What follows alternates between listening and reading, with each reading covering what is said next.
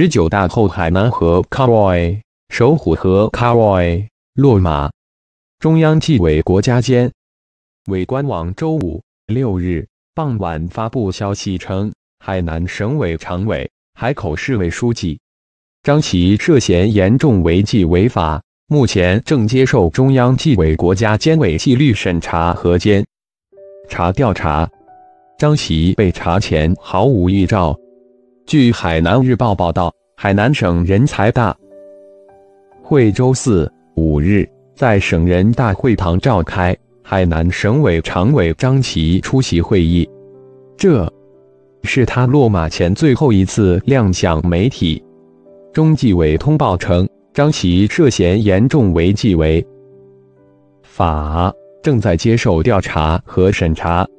网上图片公开资料显示，张琪到海南二十八年，从海南省农业综合开发实验区管委会工商处负责人、处长、工商局局长逐步晋升，曾任海南三亚市委副书记和副市长、海南省旅邮局局长、海南儋州市委书记和市长等职务。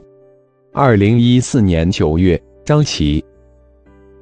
升任海南省委常委，跻身副省级。一个月后改任三亚市委书记。二十十六年十一月出任海口市委书记，直至二零一九年九月六日落马。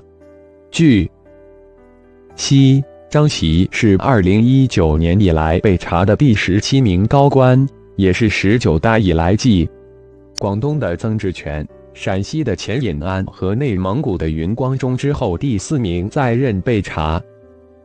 的省级党委常委，是继云光中之后第二名在任被查的省会首府城市市。